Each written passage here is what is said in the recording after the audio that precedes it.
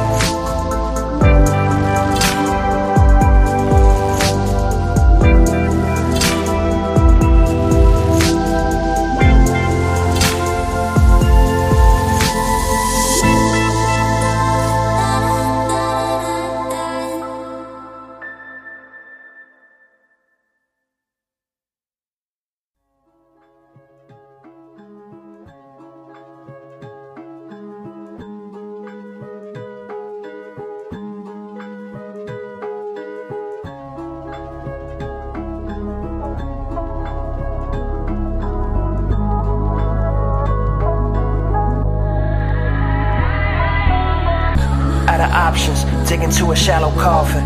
You are what you were before we started watching. Fighting for a spot, I am Alec Baldwin. Fighting for a shot, I am Abbie Hoffman. Hunter Thompson, looking down a loaded shotgun. Till the cops come looking where the pot's from. OT8, I'm a top gun. Everybody bringing hate to the potluck. I am keeping pace, I am not stuck.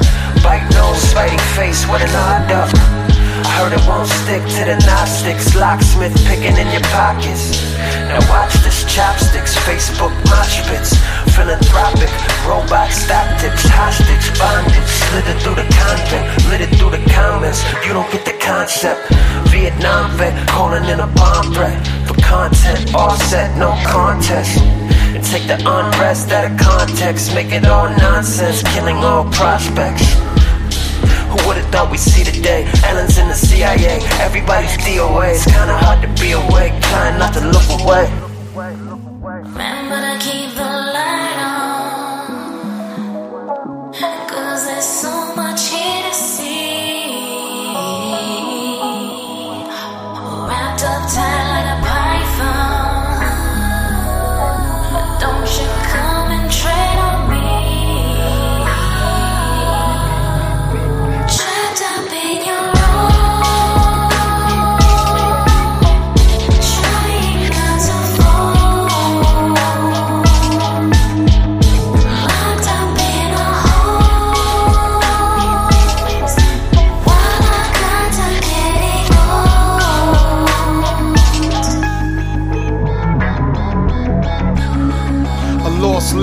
Lord's land, feeling like something God scribbled with his offhand.